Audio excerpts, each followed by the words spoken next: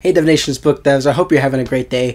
I wanted to go ahead and take some time to go ahead and debunk some common reading myths. Reading throughout the last several years, I've come across a lot of different reading myths, and so I wanted to go ahead and debunk a few of those common myths. One of the more popular myths I've seen is physical books are way better than ebooks. Now, I personally don't believe this is true. I think you have to go ahead and take a look at the value that each item is going to provide you. If you're one who likes to travel a lot or knows you're going to be moving a lot, then ebooks might be the right pick for you. Or if you know you have a home, you're open to having your own room, your own library, and developing your own space over the next decade or so, then maybe you know books might be the right thing for you. Or maybe you just prefer the, the physical copy of actually having a book in your hand then yeah, maybe physical books are for you. Maybe you're more of an on the go kind of reader. You like to read during your commute in transit, or you're a student, so you know you're living in the dorms and then you plan to move back home afterwards. Whatever your life situation is, you have to go ahead and look at which version of these books is going to serve you more physical copy books or ebooks. So it's not that one book is better than the other, just everybody has their own preference. Next myth is reading is expensive. I know right off the bat, when you look at prices on Amazon or you look at different prices wherever you buy your books, yeah, it can be a bit pricey, but what I've found is you can find books at a great bargain, at a really great deal if you just know where to look. So, firstly, if you want to just go for free, you can always check online and see places like Craigslist or any other merchants online and see if there's anybody just giving away free books. Now, I would say the, the best and also safest way to get free books would be check out your local library. If you have a local library nearby, they're to have books there and you can go ahead and check them out. There's no shame in using books from the library. I do it all the time. Now, if you want to go ahead and start collecting and buying books because you know they're to be books that you want to sort of read and study perhaps the rest of your life, or you just want to go ahead and expand your collection, I would say go ahead and look up used bookshops usually you can get them for about 1 USD or any other sort of pre-owned books whether it's online or you know wherever you live you can usually find savings of up to about 80 90% savings, you know, from like $20 to a dollar type of thing. Our next myth is I don't have time to read. Yes, I know everybody has a busy schedule. There's so many things that we have to go ahead and handle nowadays. You know, if you have a family, if you have kids, if you have school, if you have work, if you have volunteering, all these different things you got to handle. The last thing you want to do is go ahead and read. Now, it's definitely a challenge, but here are a few tips. Firstly, if you find yourself on your phone quite a bit using social media, those are usually downtimes that you have throughout your day, anyways. And maybe you can just go ahead and swap out your phone with a book or with an e reader and just go ahead and knock out 10 minutes of reading a day. Now, if you say, Ryan, I'm so busy, I don't even go on my phone at all, I don't follow social media, I don't go on it, how do you recommend I go ahead and read books? Because I just don't have time. Well, I would certainly say try and take advantage of any sort of downtime you might have.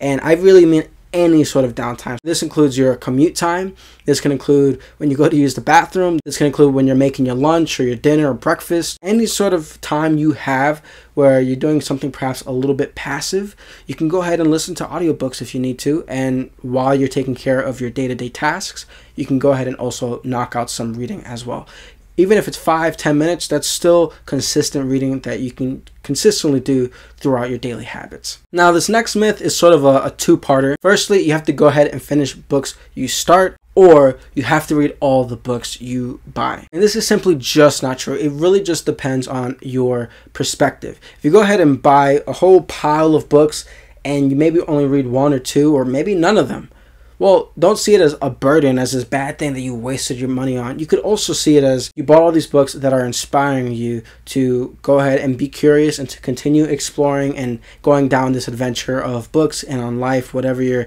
your life path takes you. See books as a way to inspire you instead of seeing it as some weight that you have to go ahead and tackle because you haven't read all these books. I totally understand. I used to sort of feel like that. Like once I had a lot of books, I'd be like, oh man, what am I going to do? I have to go ahead and, and read all these books or else like I'm failing in my in my book journey. It's like no, go ahead and, and be willing to prioritize the books that are most important to you and, and the things throughout your life that are most important to you. And just see books that you haven't read as sort of like an inspiration. Oh, you know, there's that book that I haven't read. Maybe tomorrow will be the day I read, or maybe later today, or maybe right now. See it as books of inspiration because you can also see books as works of art. authors go ahead and dedicate several different months, years even, to go ahead and dedicate to a book and write everything they're thinking down onto paper for us to then go ahead and consume and enjoy and really be able to take away from.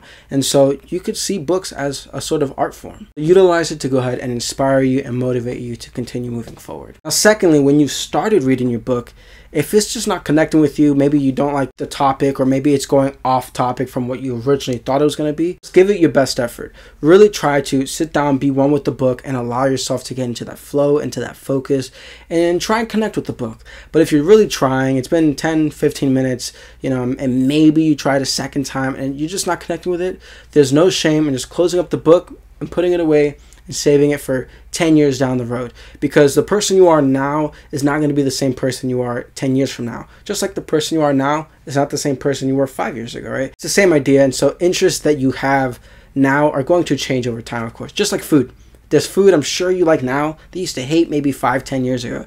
And it's the same idea with books. So your interests and tastes in books are going to change over time as well. And there's no shame in putting a pause on it and maybe coming back to it later or maybe never at all. But at least you can say you tried to really understand and read and dissect the book and it just it wasn't for you. Our next myth is one of my favorites and it's that audiobooks are not actually reading. And I completely disagree with this myth. And I absolutely disagree with this myth. To me, even before we get into the technicality of is it actually reading or not, you have to see it as if you are obtaining information in audiobooks through listening, right, through your ears, is the way you can you prefer to consume information, then just use that to consume your information. There's no reason that you have to force yourself to sit down and actually go through and read the book with your eyes and, and like actually read the information. If it makes more sense for you to be more efficient or that you personally enjoy it more to just listen to an audiobook, then you do that.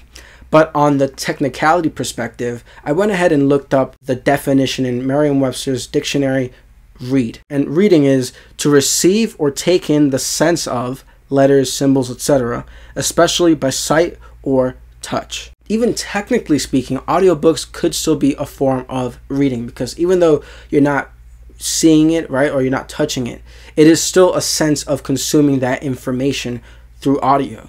So I would still classify both technical sense or non technical sense audiobooks is still considered reading. And again, it's just like with the gym, right? If you don't like running, go swimming. If you don't like swimming, go lift weights. Find what works for you. And it's the same idea with books, whether you like audiobooks, ebooks, physical copy books, whatever works for you, find what works for you and then utilize that. Don't worry about whatever people are saying in terms of, oh, one's better than the other. Just find what works for you and you stick with that and run with it. Lastly, reading is boring. Now, before you perhaps go ahead and disagree with me, I would say that reading is not boring, but perhaps it is. Hear me out. A lot of time when we start getting into reading, we're really bored. But perhaps it's because we're not reading the way we should be reading. More specifically, we're not reading the books that we're actually interested in when it comes to reading books, you have to find topics and, and ideas that really connect with you. So start with subjects that you're actually interested in. If you love comic books, start reading comic books. If you love reading about biology, start reading biology. If you love fiction books, start reading fiction books and start with whatever you are actually interested in. And over time, if you actually give it your best foot forward and you're reading about topics you personally are just absolutely 100% interested in, if you're into aliens, go read Alien because the best tool that's going to help serve you in terms of actually reading books is interest you have to be interested in what it is you're actually doing. And that's just with life. You got to enjoy and be interested in whatever you do. So you say, Ryan, you know what? I've tried reading books on topics I'm actually interested in. Well, and a second tip I would say is try setting yourself up in different environments maybe you just don't read too good at home you have family members you know they're really loud or you have really loud neighbors plays on the drums go to a coffee shop or a bookshop and see if that works better for you set yourself up in different environments that would work for you now let's say you tried reading books on subjects you're actually interested in you've tried changing up for your environment and you've really tried changing the style of books that you read it's still you're still not interested and you still find reading boring then fine, I can go ahead and say maybe reading is boring for you. But my whole point is that you should really try and put your best foot forward when it comes to learning and reading. And just find whatever way that you like to learn, go ahead and utilize that. I think a lot of us are too quick to say, reading is boring, I don't want to read. How do you actually know if you haven't even given it your best foot forward, if you haven't actually really, really tried? Just like if you don't like mushrooms, but you've never tasted mushrooms, well, how do you know you don't like mushrooms? Same idea with books. You got to really go ahead and give it your best foot forward and really try. Be willing to taste and test and experiment with how you're reading and what you're reading before you just go ahead and say, you know what, reading is boring. Reading's not for me. If you've actually gone ahead and tried and, and, and mixed it up, and you still don't like it, then fine. Maybe I'll I'll put an asterisk on this one. Reading is boring. Maybe it is, but I would encourage you to really go ahead and give it your best shot first. So those are a lot of the common reading myths I've found and, and gotten a lot of questions on throughout the years in terms of reading and building up the community. So I hope you enjoyed some of those takeaways. Let me know what are some other common reading myths you found or that perhaps you struggle with. I know for me, the whole buying a lot of books and then not reading a good majority of them was something I used to actually believe in. Like, oh my gosh, it's this curse or this thing that I'm not doing. How dare I? But it's fine. It's all about perspective and not worrying too much and just enjoying the journey, you know?